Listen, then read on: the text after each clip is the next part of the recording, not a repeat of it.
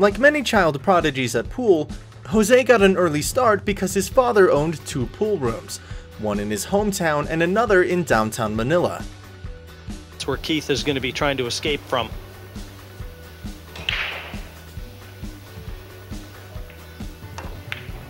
This could even go in. McCready wants it to go in. Notice the position of and his father was a good player, so Jose got to watch many of the best local players as they came in to challenge his father. By the time he was 10, Jose was playing for money too. In the beginning, it was his father that handled the money and made the games, and at first he was the recipient of handicaps, but by the time he was 15 or 16, he could handle the top local shooters playing even. By the time he was 17, he figures he was about the best player in Manila.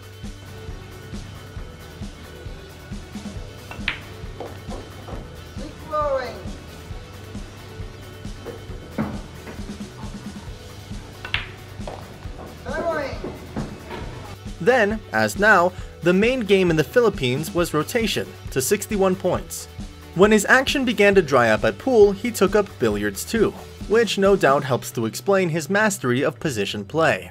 He even attended college for several years, where he studied business and engineering, both disciplines that are evident in the way he approaches pool. Jose's style at the table is not flashy, he likes to keep things simple and efficient, and when he's gambling, he manages his own money without the need for a backer. Are we going to do difference? an interview? Okay. Well, that was a great.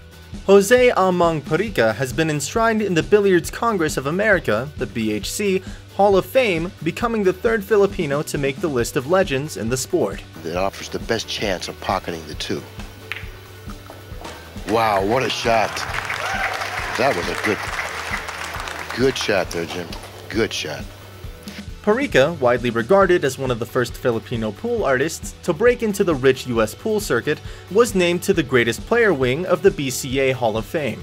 The 65-year-old Parica was already well known in the US during the mid-80s, long before Efren Bata Reyes and Francisco Django Bustamante took the American pool scene by storm. Cut the 8 in. Hit it very nice. The cue ball's going a little further than he would like. He likes it. And this for the match. Wow. And there it is. What a match. Jose Parica has moved through. Reyes, who figured in several one-on-one -on -one matches with Parica, was the first Filipino to be inducted into the BCA Hall of Fame in 2003 before being joined by Bustamante in 2010. It has been a long time to wait, said Parica in an interview with azbilliards.com. For many years, I don't think that people from the BCA knew who I was. I was always asked about my record. I won many major tournaments in the US. They commented about my gambling, but what pool player doesn't gamble? But it is a great honor, said Parica. Parica was joined by former world champion Mika Immonen of Finland in the class of 2014. That, we're going to have to sweat out a break here.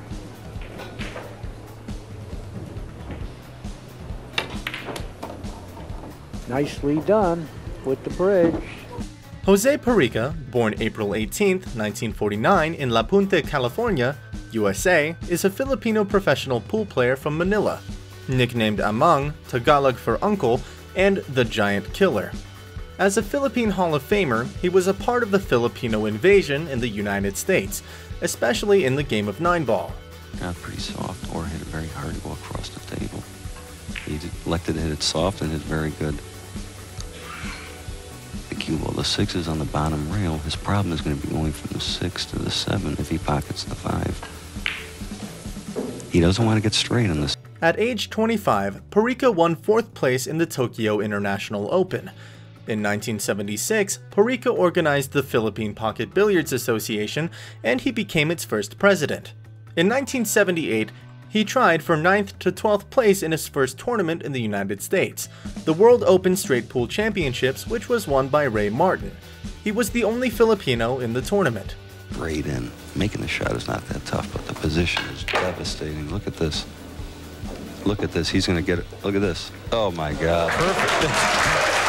He's smiling. In 1979, Parica was the Philippines' national three-cushion champion, rotation champion, and snooker champion. Parica competed under the Men's Professional Billiards Association for years, but did not win a US title until 1986, when he won the World Open 9-ball Child Cyprus in Lexington. He followed it up with a victory in the World Classic Cup title in Aurora, Illinois.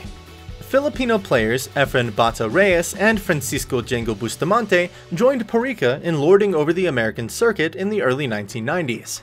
Gotta get on that two ball now. Get rid of that pretty soon. Spectators. There he goes. Parica had won close to 100 tournaments in the US, 13 in Japan, and 3 in the Philippines, the 1980, 1989, and 1992 Philippine 9-Ball Open Championships. In 1988, Parica participated in the Japanese circuit, winning 8 of the 9 tournaments he competed in, and placing second in the other.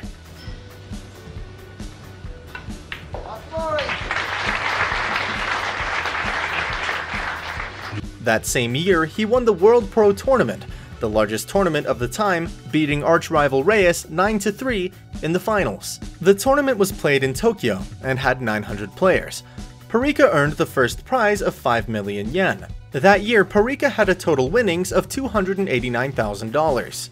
Parica was the only player to win a perfect run-out match of 9-ball under Race to 11 format without misses or fouls. Boy. I tell you, when you're going right, you're going right, aren't you? Hmm?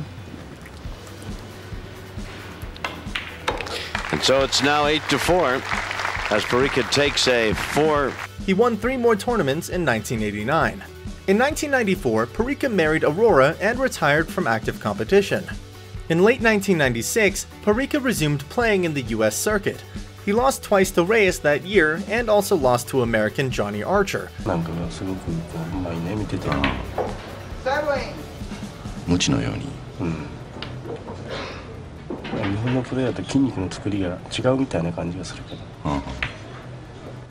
Who won Billiards Digest Player of the Year in 1996?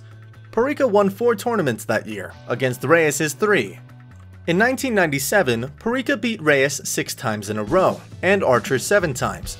Parica won five tournaments that year, and was ranked first in world ratings.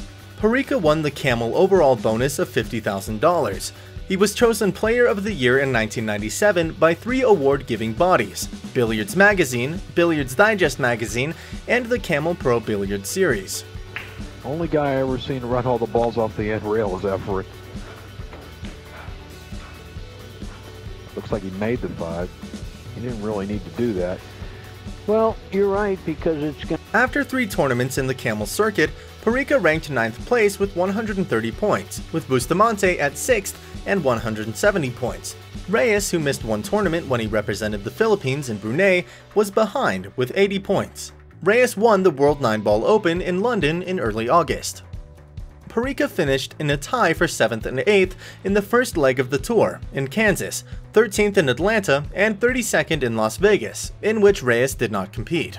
With his victory in the Campton event, where six of the seven Filipinos who competed finished in the money list, Parica advanced to the next leg, at Nashville, Tennessee, starting 14th of September, and later at the US Open in Houston, Texas, on September 25th to 26th. Well, hit the balls good.